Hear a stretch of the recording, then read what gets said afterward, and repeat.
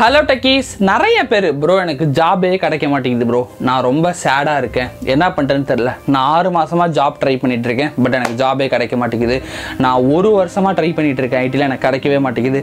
நிறைய பேர் இந்த மாதிரி என்னோட கமெண்ட் செக்ஷன்லேயே ஆகட்டும் டிஎம்லேயே ஆகட்டும் நிறைய பேர் மெசேஜ் பண்ணுறீங்க ப்ளஸ் நிறைய காம்படிஷனும் பார்த்தீங்கன்னா இப்போ ஐடி மார்க்கெட்டில் ரொம்ப ரொம்ப அதிகமாகிடுச்சு இன்கேஸ் ஒரு ஜாவா டெவலப்பர் ஓப்பனிங்க்கு நான் நௌக்கரியில் போய் பார்த்தேன் அப்படின்னா ஒரு ஓப்பனிங்க்கு பத்தாயிரம் பேர்த்துக்கு மேலே அப்ளை பண்ணியிருக்காங்க ஸோ காம்படிஷனும் அதிகமாயிடுச்சு. ஸோ ஆடியன்ஸ் நிறைய சொல்கிறாங்கன்னு சொல்லிட்டு நான் ஃப்ரெஷராக ஹையர் பண்ணிட்டு இருக்கேன். என்னோட ஒன் ஆஃப் தி ஃப்ரெண்ட் ஹெச்ஆர்ட்ட டிஸ்கஸ் பண்ணேன். இது எப்படி போயிட்டு இருக்குன்னு எக்ஸாக்டாக எப்படி இருக்குன்னு. அதில் நான் தெரிஞ்சுக்கிட்ட நிறைய விஷயங்கள். ப்ளஸ் நான் பர்சனலாக நிறைய பேர்த்தோட ஒன் டு ஒன் கன்சல்ட்டிங்லையும் ப்ளஸ் நிறைய பேர்த்துக்கு நானே டேரெக்டாக பார்த்தீங்கன்னா ஜாப் எடுத்து கொடுக்க ஃப்ரெஷருக்கு ஹெல்ப் பண்ணிட்டு இருக்கேன். அதில் பார்த்த ஒரு சில விஷயம் தான் இந்த வீடியோவில் ஷேர் பண்ண போகிறேன் ஸோ நீங்கள் ஐடி ஜாப் எனக்கு கிடைக்கவே மாட்டீங்கன்னா கண்டிப்பாக நான் சொல்ல போகிற இந்த விஷயத்தில் ஏதோ ஒரு இடத்துல லேக் ஆகிட்டு இருப்பீங்களா? ஏதோ ஒரு விஷயத்தை தப்பாக பண்ணிட்டு இருப்பீங்க. அதனால தான் உங்களுக்கு மேபி கிடைக்காம இருக்கலாம்.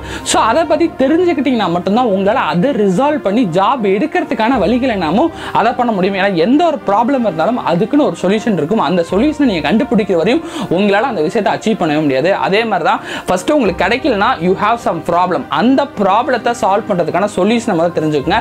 அது இந்த ஒரு வீடியோவில் கிடைக்கலாம் இல்லைன்னு நீங்கள் பல வீடியோ பார்த்து ஏதோ ஒரு வீடியோவில் கூட கிளிக் ஆகலாம். மேபி இந்த வீடியோவில் உங்களுக்கு அதுலேருந்து நிறைய பார்த்தீங்கன்னா ஒரு ஐடியாஸ் கிடைக்கும்னு நினைக்கிறேன். ஸோ லெட்ஸ் கெட் இந்த வீடியோ நம்ம சேனல் நீங்கள் ஃபர்ஸ்ட் டைம் வச்சுருக்கீங்கன்னா என்னோட நேம் நவீன். நான் பார்த்தீங்கன்னா ஐட்டில் ஹச்ஆராக ஒர்க் பண்ணிட்டு இருக்கேன் என்னோட எக்ஸ்பீரியன்ஸ் நம்ம சேனல் ரெகுலராக வீடியோஸாக போஸ்ட் பண்ணிட்டு இருக்கேன் இன்னும் நம்ம சேனலை சப்ஸ்கிரைப் பண்ண வந்தால் மறக்காமல் சப்ஸ்கிரைப் பண்ணி வச்சுக்கோங்க. லெட்ஸ் கெட் வீடியோ ஸோ நான் என் ஃப்ரெண்டு கிட்ட டிஸ்கஸ் பண்ணுறப்ப எப்படி வச்சா பத்தாயிரம் பேத்துக்கு மேலே அப்ளை பண்ணுறாங்களே எப்படி இதை ஹேண்டில் பண்ணுறீங்க உண்மையிலுமே பத்தாயிரம் பேத்துக்கு மேலே படிச்சிருக்காங்களா? என்ன சுச்சுவேஷன் அப்படி நான் பார்க்குறப்ப தான் எனக்கு இந்த டேட்டாவை என்னோட ஃப்ரெண்டு ஷேர் பண்ணார். இப்படி தான் இருந்துட்டு இருக்கு அப்படின்ட்டு. ஒரு பத்தாயிரம் பேர் ஜாப் அப்ளை பண்ணுறாங்க அப்படின்னாவே நௌக்கரியில் ஈஸியாக அப்ளை பண்ணிடலாங்கிறனால அந்த பத்தாயிரத்தில் ஐயாயிரம் பேர் சும்மா சும்மா காலேஜ் டிகிரி முடித்தவங்க இல்லை சும்மா வந்து பார்த்தீங்கன்னா ஜாவா படிக்கலாம் இல்லை ஜாவா வேலைக்கு போகலாமோ அப்படின்னு நினச்சிட்டு இருக்கவங்களாம் அப்ளை பண்ணிடுவாங்க. அதுலேயே பார்த்தீங்கன்னா மோஸ்ட்லி ஃபிஃப்டி பர்சன்டேஜ் போயிடும். அதுக்கப்புறம் பார்த்தீங்கன்னா மீதி ஐயாயிரம் பேர் இருப்பாங்க. அந்த ஐயாயிரம் பேர்த்தில் நாலாயிரம் பேர்கிட்ட நம்ம கேட்குற ஸ்கில்லை கம்ப்ளீட்டாக கற்றுக்கவே மாட்டாங்க. இல்லை நம்ம கேட்குற விஷயத்த ஃபுல்லாக படிச்சிருக்கவே மாட்டாங்க. ஒன்று வெறும் காலேஜ் டிகிரி மட்டும் முடிச்சிருப்பாங்க. அப்படி இல்லைன்னா இன்ஸ்டியூட்டில் படிச்சுட்டு இருப்பாங்க. அந்த மாதிரி படிச்சுக்கிட்டு இருக்கப்போ பண்ணிட்டு இருப்பாங்க. நம்ம ஒரு விஷயத்த கம்ப்ளீட்டாக முடிச்சாலும் ஆளுங்களே இருக்கப்போ எதனால கம்பெனி இருந்தான்னு சொல்லி படித்து எக்ஸாக்டாக முடிக்காத ஆளுங்களே எடுக்கணும். அதுலேயே பார்த்தீங்கன்னா மோஸ்ட்லி நாலாயிரம் பேர் கிட்டே போயிடுவாங்க மீதி ஒரு ஆயிரம் பேர் இருப்பாங்க. அதாவது நான் கோர்ஸ்லாம் படித்து முடிச்சிட்டேன்னு சொல்லி. அந்த ஆயிரம் பேர்த்தில் பார்த்தீங்கன்னா ஒரு ஏழ்நூறு பேர் இந்தான்னு சொல்லி வெறும் டிகிரி மாதிரி சும்மா கோர்ஸ் நானும் முடிச்சிட்டேன். அதே மாதிரி இன்ஸ்டியூட்டில் கொடுத்தாங்களேன்னு சொல்லி சும்மா ரெண்டு மூணு ப்ராஜெக்டை போட்டு வச்சுட்டு நானும் ஐடி ஜாப் ஆகணும் நானும் ஐடி ஜாப் ஆகணும்னு உட்காந்துருப்பாங்க வெறும் முந்நூறு பேர் தான் குவாலிட்டியாக ஸ்ட்ராங்காக லேர்ன் பண்ணி ஓனாக நிறைய ப்ராஜெக்ட் பண்ணி நிறைய விஷயங்கள் வச்சுருப்பாங்க. அதில் நம்ம யார் டேலண்டாக இருக்காங்க யாரோட ப்ராஜெக்ட் பெஸ்ட்டாக இருக்குது ப்ளஸ் மற்ற மற்ற கம்யூனிகேஷன் ஆப்டிடியூட்லாம் பார்த்து தான் வச்சா இந்த மாதிரி குவாலிஃபை பண்ணி எடுப்போம். இவ்வளோ விஷயங்களை எப்படி ஃபில்டர் அவுட் பண்ணுறீங்கன்னா நாங்கள் நௌக்கரியில் போடுறப்ப அவங்க சொல்லியிருந்த விஷயம் ஃபில்ட்ரேஷன் நிறைய ப்ராசஸ் இருக்கும்ல.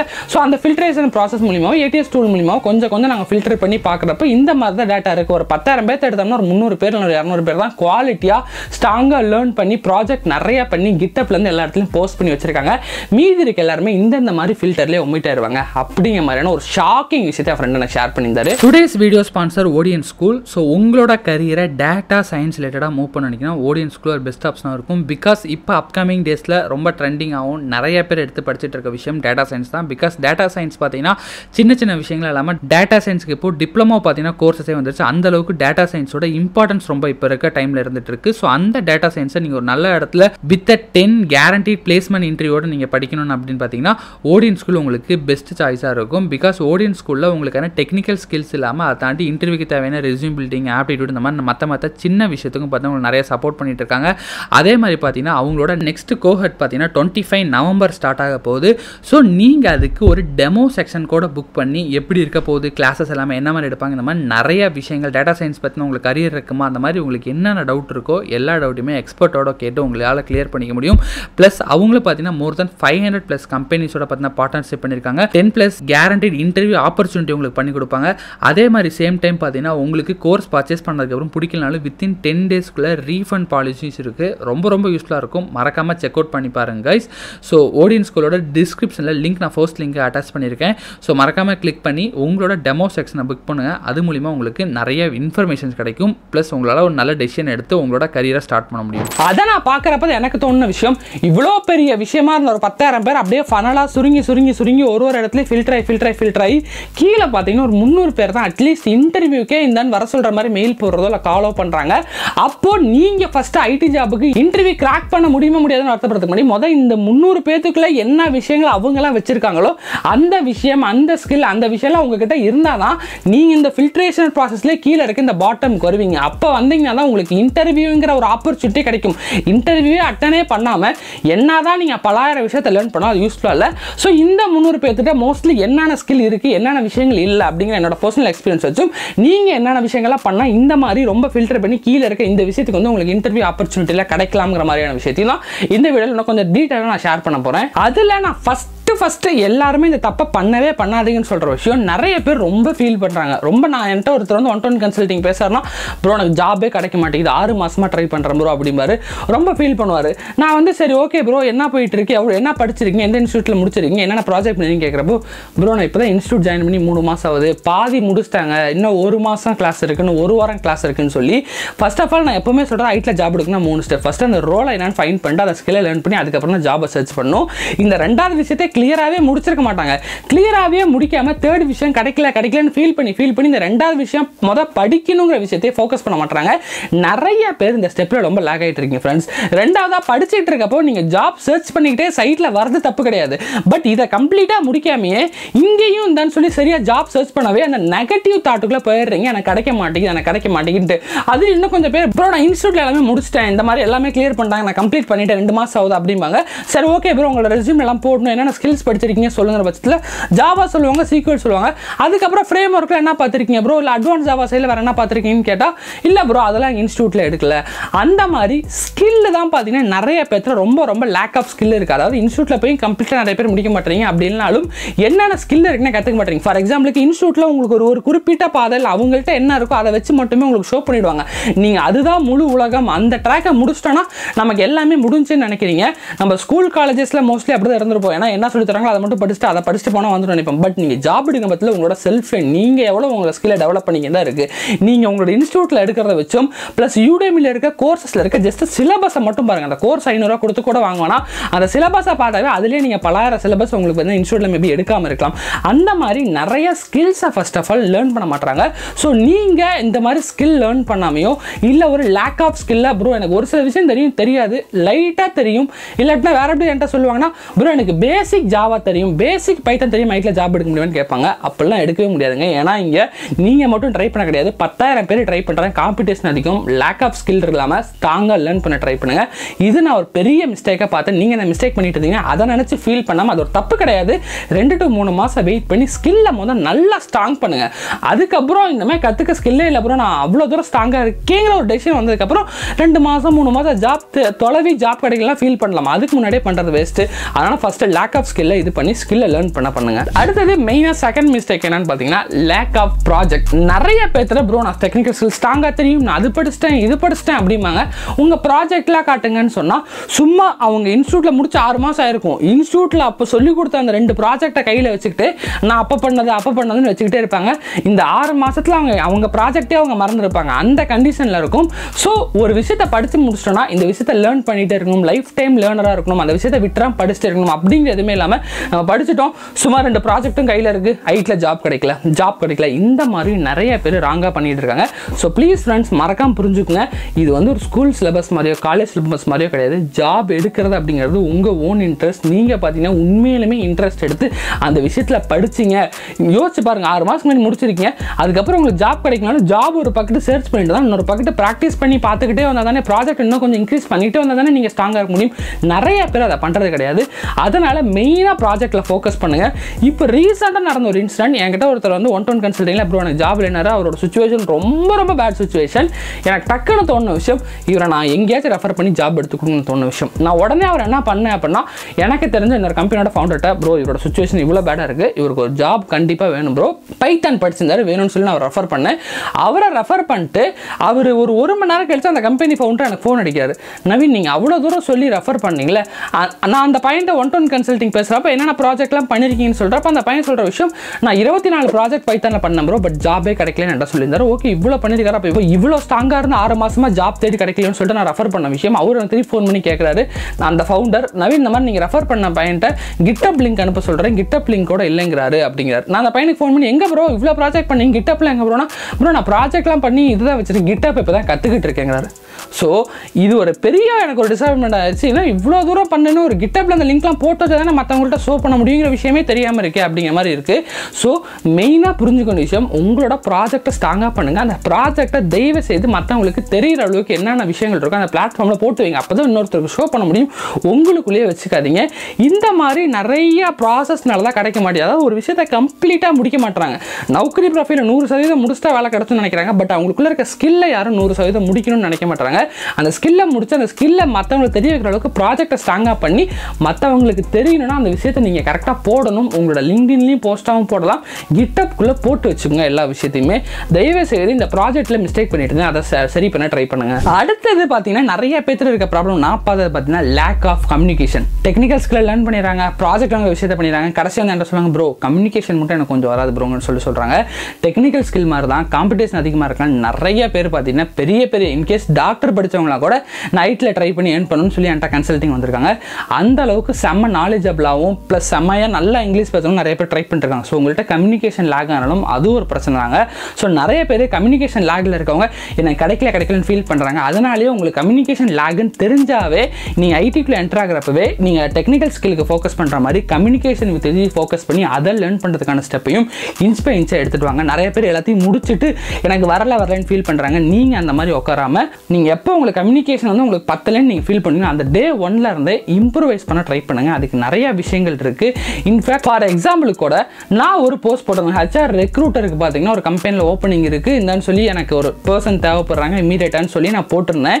அதுக்கு நிறைய பேர் அப்ளை பண்ணிருந்தாங்க நான் ஒரு சில பேருக்கு கால் பண்ணி பேசலாமே இந்தான்னு சொல்லி அவங்கள்ட்ட கால் பண்ணி நான் பேசினேன். ஓகேங்களா நான் இன்ஸ்டாகிராம் நீங்கள் பார்த்தீங்கன்னா தெரிஞ்சிருக்கும். நான் கால் பண்ணி பேசுகிறப்ப நான் என்ன நினச்சேன்னா ஹச்ஆருக்கு இருந்தான்னு சொல்லி ஹயர் பண்ணுறதால கம்யூனிகேஷன் ரொம்ப மஸ்ட் மற்றபடி எந்த ஸ்கில் இல்லைனாலும் பிரச்சனை இல்லைன்னு சொல்லிட்டு நான் பார்த்தீங்கன்னா கால் இடத்துலேருந்து இங்கிலீஷ்லேயே பேசுகிறேன் நான் ஒரு பத்து பேர்த்தில் பேசுகிறேன் பத்து பேர்த்தில் ரெண்டு பேர் தான் ரிட்டன் என்கிட்ட இங்கிலீஷ்லேயே பேசினாங்களே. என்னன்னு சொல்லி நான் கேட்குற விஷயத்துக்கு அட்லீஸ்ட் தடுமாறி தான் பதில் சொன்னாங்களே ஒழிஞ்சு யாருமே ரொம்ப ஃப்ளூயண்டாக இல்லை. அப்படி தடுமாறி பதில் சொன்னாங்க கூட அந்த ரெண்டு பேரும் அட்லீஸ்ட் இங்கிலீஷில் பேசுகிறாங்கன்னு சொல்லி இங்கிலீஷில் கன்வெர்ட் பண்ணுறாங்க மீதி எல்லாரும் பார்த்தீங்கன்னா ஃபோன் எடுத்தானே ஆ சொல்லுங்கள் ப்ரோ அப்படியா? என்ன ஏதுன்னு சொல்லி தமிழ்லே தான் பேசுகிறாங்க ஒழிஞ்சு திருப்பி நான் ரெண்டு மூணு கான்வர்சேஷன் அவங்க தமிழில் சொன்னால் நான் இங்கிலீஷில் கன்வே பண்ணாலுமே கூட கொஞ்சம் கூட இங்கிலீஷ் சைடில் திருப்பி மூவ் ஆகியோ பேச மாட்டாங்க. இந்த மாதிரி கம்யூனிகேஷன் இஷ்யூ உங்கள்கிட்ட இருந்துருந்தா உங்களுக்கு என்னன்னு சொல்லி அப்படி எல்லாமே நீங்கள் அப்ளை பண்ணியிருந்தோம் உங்களுக்கு ஹெச்ஆர் வந்து கால் வரப்போ கம்யூனிகேஷன் லேக்கில் டெஃபினட்டாக உங்களை ரிஜெக்ட் பண்ணிடுவாங்க. ஸோ நீங்கள் மெயினாக இன்டர்வியூ போய் டெக்னிக்கலாக அட்டன் பண்ணணும்னா கம்யூனிகேஷன் ஒரு மஸ்ட் நீடர் அதனால் முதல் நீங்கள் கம்யூனிகேஷன் சைட்லையும் மறக்காமல் அதையும் விடாமல் லேர்ன் பண்ண ஸ்டார்ட் பண்ணுங்கள் இருக்கிறதுலேயே நான் மேஜராக பார்த்து ஐடி ஜாப் கிடைக்க மாட்டேங்குன்னு இருக்க பீப்புளுக்கு ஃபீல் பண்ணது இந்த மூணு விஷயம் தான். லேக் ஆஃப் ஸ்கில் ஸ்கில்லை ஃபுல்லாக கற்றுக்காம ஜாப் தேடக்கூடாது தேடவும் தேடாதீங்க.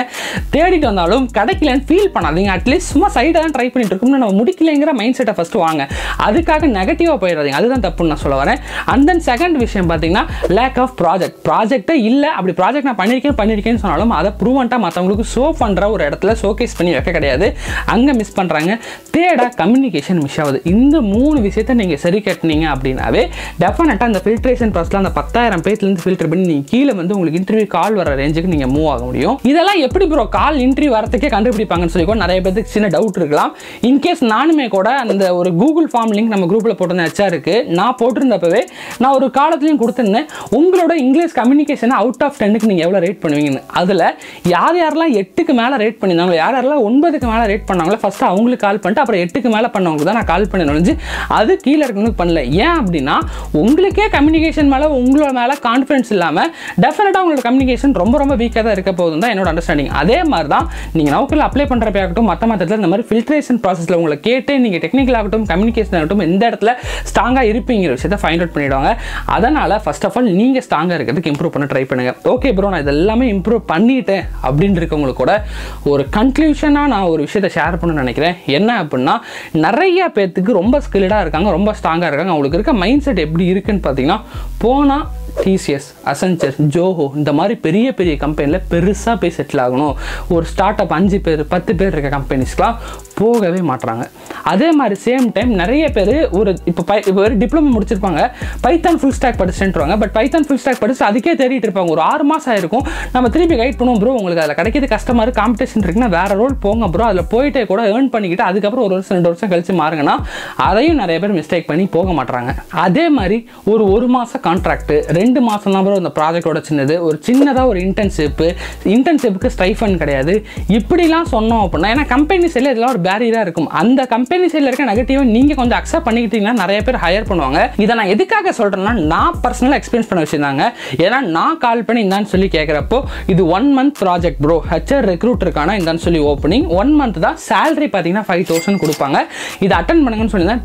ஏன்னா அந்த ஒன் மந்த் பார்த்தீங்கன்னா அவங்க பெரிய கம்பெனியில் ஒர்க் பண்ணுவாங்க. ஒர்க் பண்ணி அந்த ஒரு எக்ஸ்போசர் வச்சிருந்து ரெசியூமில் போட்டாங்கன்னா கண்டிப்பாக அப்கமிங்கில் ஜாப் கிடைக்கான சான்சஸ் அதிகமாக இருக்குது பட் நான் அந்த பத்து பேர்த்துக்கு கால் பண்ணேன்னு சொல்ல அந்த பத்து பேர்த்தில் தமிழில் பேசினவங்க கூட ஒரு மாதம் கான்ட்ராக்டா இல்லை ப்ரோ நான் பர்மனன்ட் ஜாப் தான் பார்க்குறேன் ஐயாயிரம் ரூபாய் தான் சேலரியா இல்லை ப்ரோ எனக்கு வேண்டாம். இந்த மாதிரி ஒரு சில விஷயத்தினால நிறைய பேர் ஜாப் வேண்டாம் வேண்டாம்னு சொல்லி நிறைய பேர் ஒமிட் பண்ணுறாங்க அப்போ தான் எனக்கு ஃபீல் ஆச்சு இவ்வளோ பெரிய நல்ல ஆப்பர்ச்சுனிட்டி எடுக்க மாட்டாங்களே ஸ்டார்ட் பண்ணுறப்ப முப்பதாயிரம் நாற்பதாயிரம் தான் வேணும். பெரிய எம்என்சி தான் வேணும்னா கண்டிப்பாக நிறைய பேர் அப்படி வந்திருக்க மாட்டாங்க. ஐடியில் ஒர்க் பண்ணுற எண்பது சதவீதம் பேர் நீங்கள் போய் கேட்டு கூட பாருங்கள் ஸ்டார்ட் பண்ணுறப்போ ரொம்ப ரொம்ப கீழ் சேலரியில் வாங்கிட்டு இருப்பாங்க. அவங்க தான் டாப் வந்திருப்பாங்க. ஸோ ப்ளீஸ் அந்த மைண்ட் செட்டில் நீங்கள் இல்லைனா ப்ராப்ளம் கிடையாது. இருந்துச்சுன்னா ப்ளீஸ் எந்த ஒரு வேலை ஃப்ரீயாக வந்து மூணு மாதம் செய்ய சொன்னால் கூட போயிட்டு கற்றுக்குங்க அதுலேருந்து உங்களுக்கு ஒரு பாசிட்டிவ் கிடைக்கும். என்னோட எக்ஸ்பீரியன்ஸ் சொல்லணும்னா கூட நான் சென்னைக்கு வரப்போ எனக்கு ஒரு பன்னெண்டாயிரம் ரூபாய் தான் சேலரி ஹெச்ஆர் ரெக்ரூட்டர் அந்த கம்பெனியில் வெறும் பார்த்தீங்கன்னா ஒரு பத்து டு பன்னெண்டு பேர் தான் இருந்தாங்க. ஒரு கன்சல்டன்சி அது. ஒரு வீட்டில் நடத்திட்டு இருந்தாங்க. அதுக்கு நான் எங்கள் ஊர்லேருந்து இங்கே வந்து என்னோட பிஜி ரெண்ட்டு மட்டுமே பத்தாயிரம் செலவாகும். மீதி அடிஷ்னல் செலவு போக எனக்கு பன்னெண்டாயிரரூபா பன்னெண்டாயிரம் ரூபாய் இங்கேயே போயிடும் வீட்டிலேருந்து மூவாயிரம் வாங்கி தான் நான் செலவு பண்ணிட்டு இருந்தேன் அந்த சுச்சுவேஷனில் இருந்தேன். பட் ஒரு ரெண்டு மாதம் எக்ஸ்பீரியன்ஸ் எனக்கு கிடச்சதுக்கு அப்புறமேலு அதை வச்சு நான் நௌக்கரியில் போட்டு அதுக்கப்புறம் ஒரு பெரிய எம்என்சியில் கிடச்சிது. ஸோ நீங்கள் ஸ்டார்ட் பண்ணுறத பார்க்காது எங்கே உங்கள் கரியரை மூவ் பண்ணி எடுத்து கொண்டு போகிறீங்க எப்படிப்பட்ட ரோலில் ஒர்க் பண்ணுறீங்கிறத பாருங்கள் ஃபஸ்ட்டு பார்த்தீங்கன்னா ஒரு வருஷத்துக்கு லேர்னிங்கை ஃபோக்கஸ் பண்ணுங்கள் அதுக்கப்புறம் உங்களுக்கு தேவையான ஃபியூச்சர்ஸ் எல்லா விஷயமும் கிடைக்கும். இப்போ நான் அப்படி கீழேருந்து ஒரு கம்பெனியில் ஒர்க் பண்ணி அதுக்கப்புறம் ஒரு சர்வீஸ் பேஸ்ட் கம்பெனி வந்து இப்போ ஒரு வருஷம் ஒர்க் பண்ணதுக்கே எனக்கு பார்த்தீங்கன்னா ஒர்க் ஃப்ரம் ஹோம் ஹோமில் மோர் தேன் பார்த்தீங்கன்னா இன்ட்டு த்ரீ எக்ஸ் நான் எவ்வளோ பழைய சேலரி வாங்கியிருந்தோம் அதோட த்ரீ எக்ஸ் பார்த்தீங்கன்னா இப்போ சேலரியில் வெறும் ஒரு வருஷத்தில் என்னால் போக முடிஞ்சிருக்கு. ஸோ ஸ்டார்ட் பண்ணுறப்ப எவ்வளோ கீழே இருந்தாலும் அதை பற்றி யோசிக்காமல் நான் ஃபியூச்சரை பற்றி யோசிங்க. கண்டிப்பாக மாற முடியும். அதனால் எனக்கு பார்த்தீங்கன்னா இப்போ ஒர்க் ஃப்ரம் ஹோம்லேயே இந்த ஆப்பர்ச்சுனிட்டி கிடச்சிருக்கு. நான் எடுத்தோன்னே ஃப்ரெஷராக உட்காந்துட்டு எனக்கு முப்பதாயிரம் வேணும் இப்போ வாங்குற மாதிரி நாற்பதாயிரம் வேணும் அவ்வளோங்கிற மாதிரி சேலரி கேட்டு எனக்கு ஒர்க் ஃப்ரம் ஹோம் இருந்தால் தான் வேணும் நான் வீட்டிலே உட்காந்துட்டு இருந்தேன்னா வீட்டிலே உட்காந்துருக்க வேண்டாம். இறங்கி வந்தேன். எவ்வளோ கம்மியாக இருந்தாலும் சரி எவ்வளோ விஷயமா இருந்தாலும் சரி எடுத்து பண்ண ஆரம்பிச்சு சின்ன கம்பெனி தான் கற்றுக்க ஆரம்பிச்சு என்னால் ஒரு வருஷத்தில் படிப்படி எவ்வளோ இருக்குது அதுவே அஞ்சு வருஷம் பத்து வருஷத்தில் இன்னும் செம பெரிய க்ரோத்தை பார்க்க முடியும். அந்த மாதிரி தான் ஸ்டார்டிங்கில் இந்த மிஸ்டேக்கை பண்ணாதீங்க.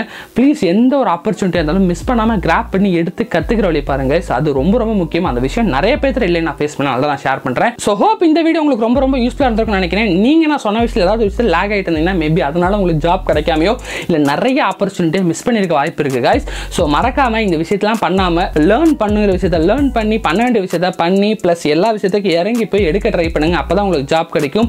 இந்த வீடியோ உங்களுக்கு யூஸ்ஃபுல்லாக இருந்துச்சுன்னா மறக்காமல் கமெண்ட் செக்ஷனில் யூஸ்ஃபுல் டைப் பண்ணுங்க. நான் அப்கமிங் டேஸில் இந்த மாதிரி ரேட்டெல்லாம் நான் வீடியோஸ் நிறைய போட ட்ரை பண்ணுறேன் ஸோ திஸ் இஸ் ஒரு ஹெச்ஆர் நவீன் இந்த மாதிரி இன்ட்ரெஸ்டிங்கான வீடியோ பார்க்கணுன்னா மறக்காமல் அதை நீங்கள் ஃபாலோ பண்ணி வச்சுக்கிட்டா மட்டும்தான் பண்ண முடியும். ப்ளீஸ் நம்ம சேனலை ஃபாலோ பண்ணி வச்சுக்கோங்க. திஸ் இஸ் ஒரு HR Naveen it's signing off